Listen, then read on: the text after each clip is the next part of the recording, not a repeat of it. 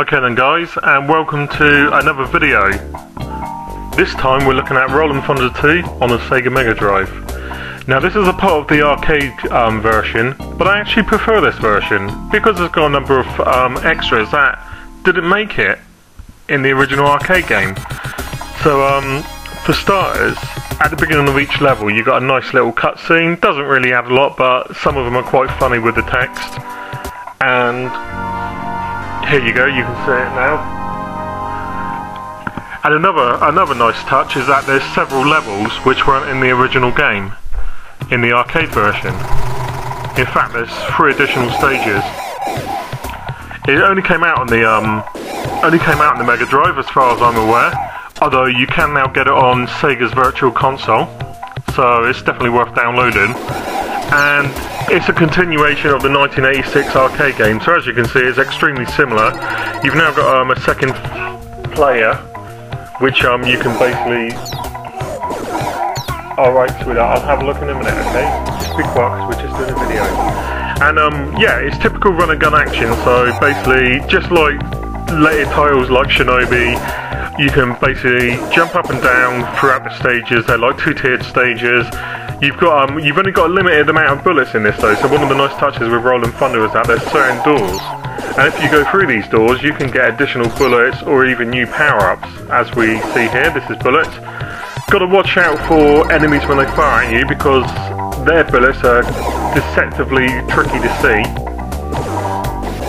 Really funky music as well.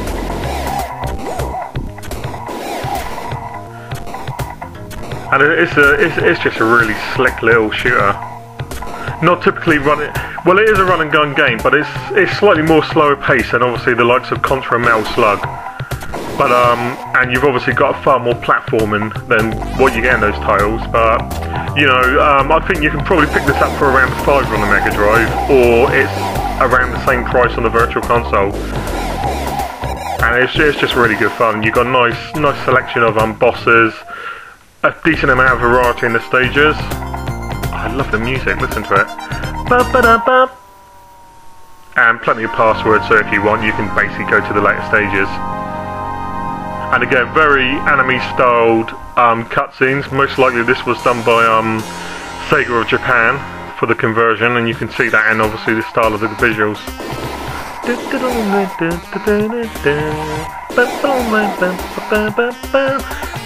Rolling Thunder first came out in 1986 in the arcades. It was ported to numerous home systems.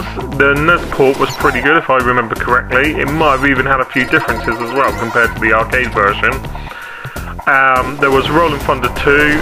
I'm pretty sure there was a Rolling Thunder 3, although it might have been unofficial. I think it went by the name of Thunder Jaws. Let's have a look. Yeah, there was a Rolling Thunder 3. And Rolling Thunder 3 came out in 1993 and apparently yeah this was this was exclusive to the the actual Mega Drive. So if anyone's interested in looking at that we can um we can always put a video on later on. Not actually played it myself but you know it's only an emulator away so we can check that out. I love how the cats disappear when you shoot them just like in real life As you can see, your um, agent's fairly athletic. She's able to jump jump up and down with ease. Um, more panthers. And another another nice touch is how you can obviously hide in the alcoves to dodge bullets. Now we're coming up to the um. Oh, thanks for that, sweetheart. We're coming up to the first um, end of level boss now. He can be quite a bugger, but obviously, as with most of these guys, there is a there is a nice way to beat him. Now as you can see his lock-on system is absolutely shit, so if you're quick enough, unlike there, you can actually get out of his way and you have a good indication of when he's going to fire, so let's, let's give it another try. I think we're going to manage it this time. So pick up, pick up your firepower.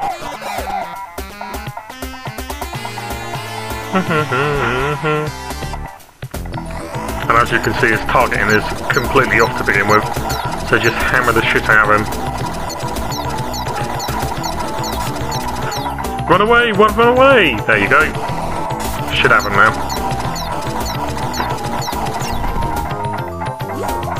He's gone.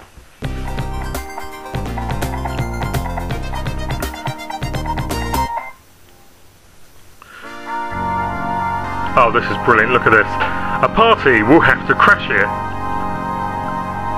I wonder if it's bring your own bullets. Oh, Sega, you're so funny.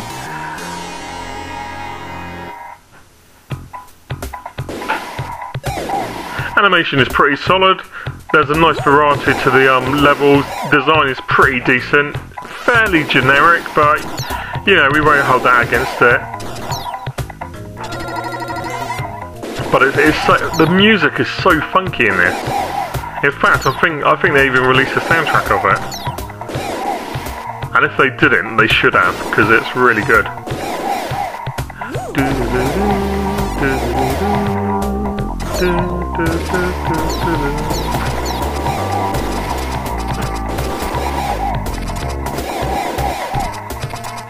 Now these guys down there on the bottom, which are making all the noise, basically you can only shoot them in the back. But um, if you do take them out, they sort of act like a smart bomb, and they take off, take out anything around you, as we'll hopefully be able to show you in a minute. I've been fiddling around with the um, sound quality now, so hopefully the mic audio for these commentaries is getting better. Um, again, any advice you want to give is I'm definitely open to suggestions.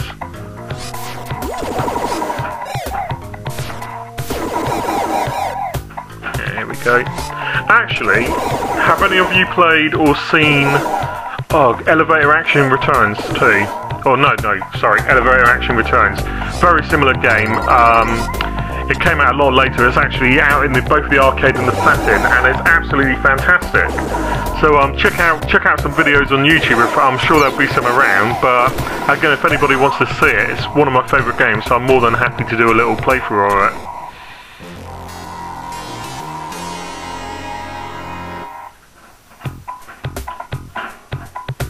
So anyway, this is Rollin' Thunder 2. We, we could carry on, but, you know, basically this is it's another two minutes of what you can already see. So um, we're going to cut the video here. Um, I'm aiming to make my videos a lot shorter because I'm simply aware that a lot of people haven't got time to watch 10 minutes at a time. So this is Darren Jones from Retro Gamer Magazine. This is Rollin' Thunder 2 for the Sega Mega Drive, a port of the 1990 arcade game, and I'll be back with new videos very, very soon. Take care, guys.